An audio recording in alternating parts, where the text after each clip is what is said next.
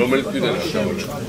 ჯოკი დავიციეთ რა ცოტა კამერა ძალიან პრობლემის თანხებიერების ამიტომაც აუცილებლად სავალიანებაა. და მე სადიყურება სამინისტრო ესე და მიწერეთ წერილი სამინისტროს ჩემიჯარის კლინიკასაც ვისურვ შეგობთ. ეს ხუთისთვის არ მიგივია თუ გქონდა არა, კონკრეტულია დეკემბრისთვის. ხო მანამდე ჩემიჯარის კლინიკა არც თვითონ არეგულირებდა ფინანსურ ესე საკითხებს. დეკემბერი, იანვარი, ეხლა უკვე თებერვალში. როგორ შეიძლება იქნება და ექნება იმუშაოთ ხელფასიანად? გამოგდენილი სისულელია ხა ეს.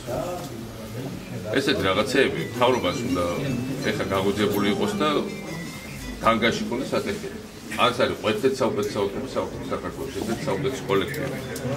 და რამდენიმე თვე ხელფასი არ მიუწია და გამიშობა არჩენები იყო თუ არა თავრობა შეიცვალა თუ არა აფხაზ გამიშობა პაციენტი ისე მოდის მათ შორის თელი აფხაზეთი აქეთ გადმოდის როცა ჭირდებათ უმაღლეს კვალიფიკაციის ექიმები ყავთ უმაღლეს კვალიფიკაციის მედპერსონალი ყავთ და მე კატეგორიულად ვთხოვ თავრობას შეეშვა კაბინეტებში ჯდომას მარტო უხაერო სივრცეში გამოვიდე და ამ ხალხს ელაპარაკო და გაუკეთო ეს საქმე.